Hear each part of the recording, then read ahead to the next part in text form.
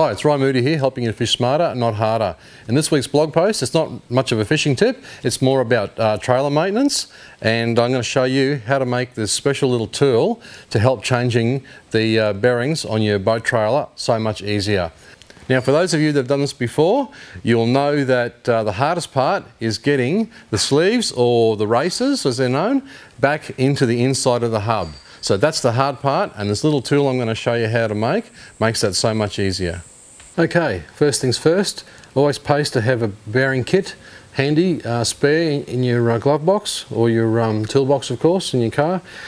Um, now what you'll have in there is uh, both front and rear bearings.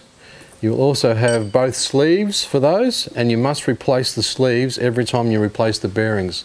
Don't just stick new bearings into the old sleeves, make sure you replace them as well.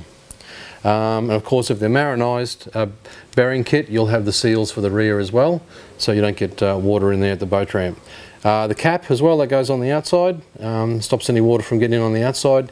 Keep that fairly packed with grease as well inside there. But you can also buy um, these self-priming ones with the grease nipple on the end. They're 35 or 40 bucks each or something, but people pinch them off your trailer at the ramp, so I don't really bother with it anymore. it gets a bit expensive after a while, so you can stick with the standard caps if you like. So that's our kit. Um, I'm pretty lucky, I don't have to pull the old bearings out, bash the old sleeves out from the rear and put new ones in and all that. I'm throwing those away and I'm replacing mine with uh, two brand new hubs.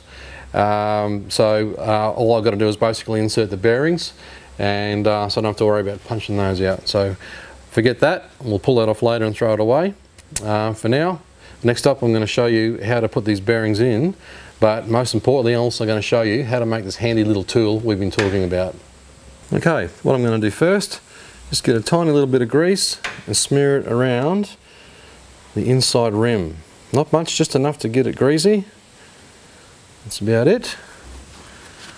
Okay, first off the insert. Remember, you've got that rim in there and it's the thick end that has to butt against it. Don't put the thin end in first, it must be the thick end in first. Okay, just tap it around the edges, just gently.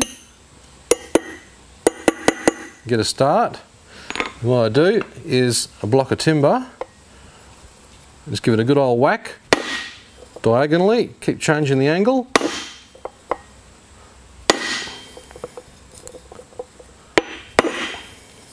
Now we're almost down to the edge there now, so we can keep going until we go as far as the lip, but then we've still got another 10 millimeters to go before the bottom of the sleeve will bottom out on that lip inside. That's the hard bit. Now this is where these little tools come in handy.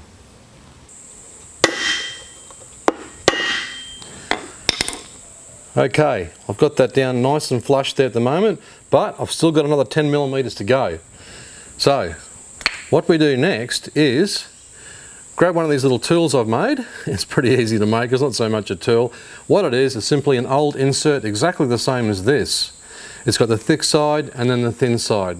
It's got the taper on it as usual, uh, like all bearings have. Now what happens is, uh, you, you have to shave this down. This has to be shaved down oh, probably 1 15th of a millimetre, uh, if that, and uh, pretty much just so that it'll fit inside the actual uh, centre of the hub without being having to be forced out. You can actually pull it out with your fingers. So that's how you need to shave it off. Just use a grinder um, of some description and uh, of course be safe when you're using power tools as well when doing this. If you're not capable of doing this then simply um, go and see one of your mates who might be a handyman and just get him to shave it down a little bit for you. So what we do is the thin side against the thin side, hold it in place and give it a belt from side to side. Don't keep hitting it in the same place, keep hitting it in thirds.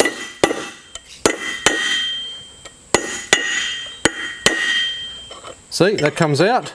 And your other one is now bottomed out lovely against that lip in there. And now we're ready to insert the bearing. But before we insert the bearing, the main point of this exercise was to show you not just to make this tool, but the reason behind it. When that sleeve was up flush here, the only other way most people could get it down would be to simply try and hit it with a punch of some sort. But what that's going to do, you're going to slide off that little lip all the time and you're going to gouge. You're going to gouge the edges, the nice shiny edges of the sleeve that the, bowl, the, the roller rolls on. So any little gouges in there, uh, what's going to happen is it's going to destroy your bearings in no time at all. Before you know it, uh, they're going to collapse on you on the highway again.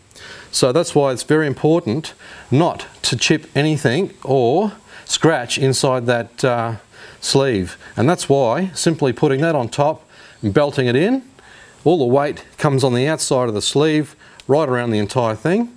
So you haven't got to worry about scouring up your sleeves. Now while I showed you this little tip mostly uh, to show you how to make these little um, gadgets, uh, also another thing too that pe where people go wrong with the amount of grease. We just smear a fair bit of grease in behind it there, use the appropriate bearing grease for marine use. Just smear a fair bit of grease in there, push it to the back there a bit. But what you also got to do is in the roller, itself in the bearing, all those roller pins, smear the grease down in amongst them and work them into the bearing. So very important that you do that as well. Don't just plonk the bearing, a dry bearing in there um, because it's going to take a little while for the grease to run right through it once you put it all back together. And that's where you can do a little bit of damage early on in the piece. So massage the grease right through all the rollers. Do it with both your bearings of course before you slot them in there. Okay, nicely massaged in so it's gone right through all the rollers. And now we're going to slot him in and sit him inside that insert. There we go, nice and square. Then simply put on our marine seals on the back, tap that in. That goes on the end of your, um, your axle and make sure that that squeezes in to the back of that. So that there has to squeeze in, make sure that's sealed right in there nicely. When it's on the back of your uh, hub, just give it a nice smear of grease in there too. Waterproof grease is the best for that. And of course you do the front bearing on the other side as well, um, same way, and uh, except you haven't got those seals there on the back. So these are quite easy to make as you saw, simply uh, grind them down a little tiny bit and um, yeah, just keep them out of the next set of bearings that you replace. Uh, the handy little tool, so all you need is those really, a hammer, block of timber, your grease and a pair of pliers and you can change your bearings almost anywhere. So uh, un unfortunately when you're out by the side of the road you don't have uh, access to bearing pullers and all that kind of stuff. So this is the next best thing really when you're out in the bush. So if you like this little tip and you'd like to see more, subscribe to our YouTube channel, like us on Facebook, and if you like some tips that I only send out by email only, head on over to www.ryanmoodyfishing.com and sign up for free email updates. Keep fishing smarter, get into the great outdoors, and I'll see you next time.